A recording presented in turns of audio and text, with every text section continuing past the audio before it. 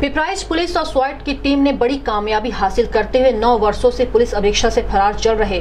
पच्चीस हज़ार के इनामी शातिर अपराधी को गिरफ़्तार कर दोबारा उसे जेल भेजने का काम किया है। फरार अभियुक्त ब्रिजेश प्रताप सिंह उर्फ़ पिंटू कुशीनगर के अहरौली बाज़ार का निवासी है।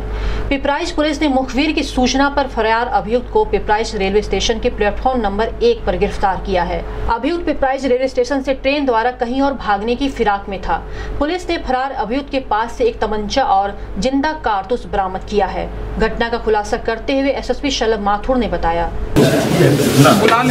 पिंटू सिंह नाम के अपराधी को पकड़ा इसके ऊपर पच्चीस हज़ार का इनाम और लगभग नौ साल से ये वांछित चल रहा था और इसका काफ़ी आपराधिक इतिहास है जिसमें 302 गुंडा एक्ट बलवा इत्यादि सरकारी काम में बाधा के मुकदमे 302 का जो आ, मुकदमा यहाँ पर हुआ था 2008 में जिसमें उस वक्त एनएसए की भी कार्रवाई की गई थी। उसके बाद में जब ये जेल से एक बार पेशी पे आए थे तो वहाँ पे सिपाहियों को कुछ नशीला पदार्थ खिला के वहाँ से फ़रार हो गए थे।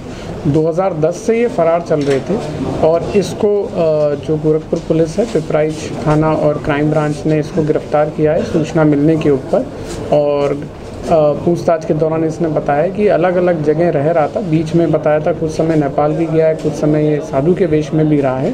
और इसको गिरफ़्तार किया गया है और गिरफ्तारी के बाद अब रिमांड पे लेके और पूछताछ करके इनसे और डिटेल में कि इस बीच ये किस किस क्राइम में इन्वॉल्व रहे, क्या इनकी गतिविधियाँ रही और हम लोग डिटेल में इनसे जानकारी देंगे